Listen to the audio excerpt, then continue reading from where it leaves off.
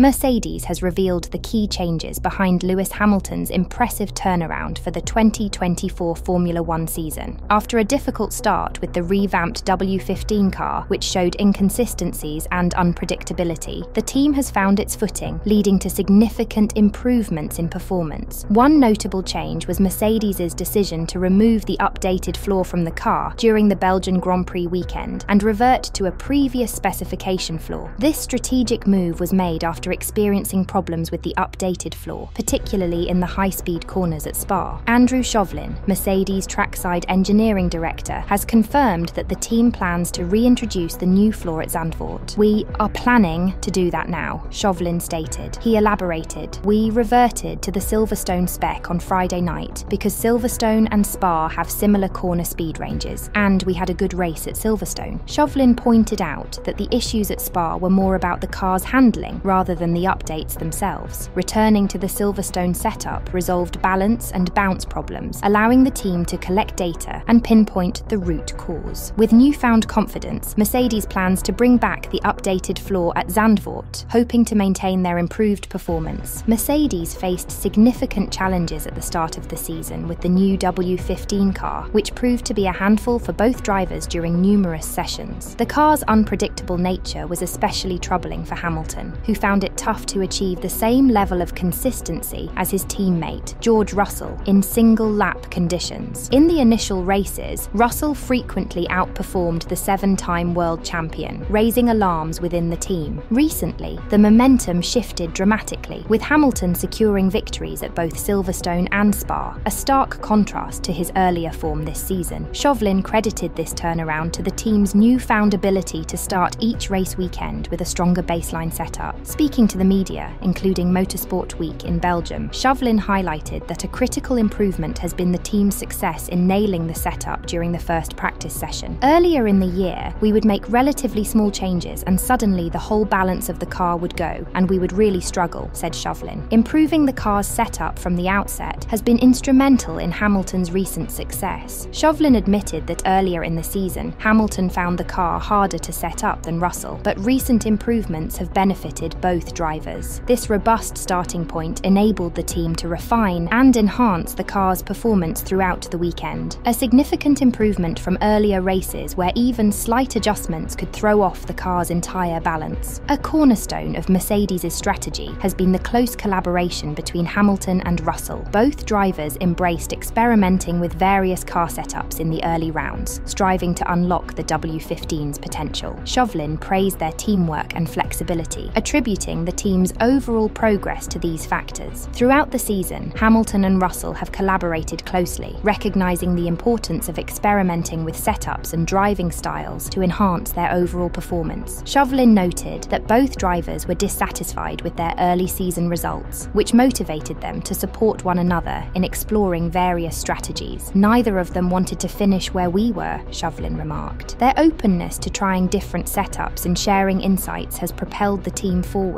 This collaborative effort showcases how two skilled drivers can work together to achieve collective success, underscoring the power of teamwork in Formula One. As the season advances, Mercedes aims to capitalize on this newfound momentum. Enhancements to the W15's basic setup, combined with the drivers' collaborative efforts, have set the team up for stronger performances in the upcoming races. Mercedes' skill in refining the car setup process, along with the drivers' teamwork, has been pivotal to Hamilton's revival this season. By continuing to focus on these key areas, the team hopes to maintain its competitive edge and secure more victories in the 2024 Formula One Championship. There is a certain style of driving that suits these tyres, Shovlin explained. He emphasised that the drivers are now aligning more closely in their setup preferences, simplifying the process of finding a configuration that works well for both. By analysing each other's approaches between sessions, they've been able to pinpoint crucial performance gains. On the other hand, Ferrari is on a relentless mission to reclaim its throne at the pinnacle of Formula One. Scuderia team principal Frederic Vasseur is determined to leave no stone unturned in this pursuit. In a bold move, he has already secured the services of seven time world champion Lewis Hamilton from Mercedes. Yet, Vasseur's quest to assemble the best squad in F1 is far from over. With Enrico Cardile set to depart in 2025, Ferrari has yet to decide on a new technical director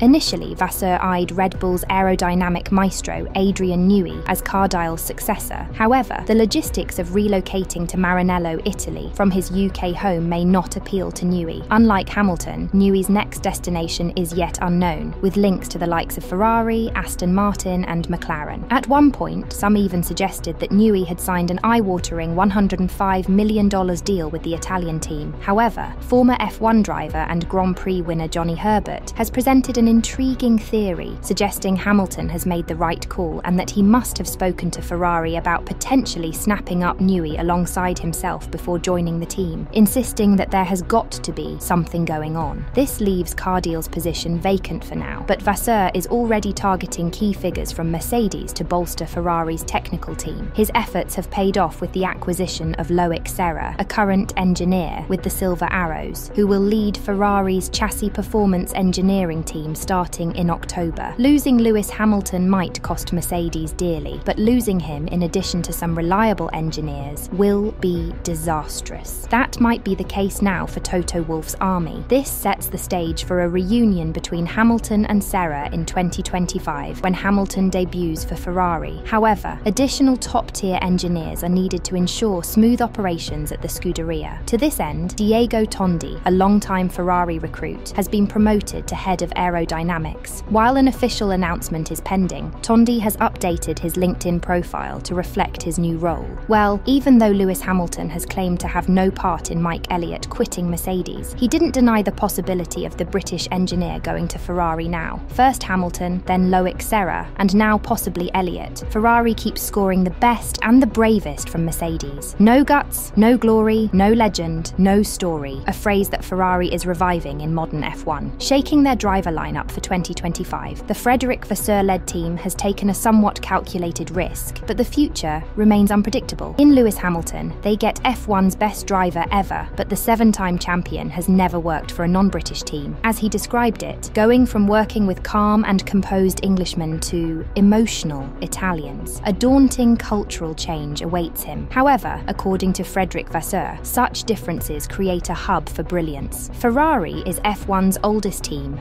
and also the most successful, but unlike other teams who answer to a parent company or billionaire owner, they have to answer to Italy in its entirety. Red Bull team principal Christian Horner made this difference very clear last year. Calling Ferrari a national team, he said, You know, it's an Italian institute and there's too many probably people at the top end that everybody has an input and has a say from the outside looking in. Hamilton's resurgence has injected fresh energy into the season, with Mercedes' strategic adjustments paying off handsomely. The team's ability to adapt and fine tune their approach, reminiscent of an F1 pit crew's precision, has been instrumental in turning their fortunes around. As the season progresses, all eyes will be on whether Mercedes can maintain this newfound momentum and keep Hamilton in the hunt for the championship title. Are we witnessing the rise of a new Hamilton in the making? Share your thoughts in the comments below. Until next time, stay tuned and goodbye for now.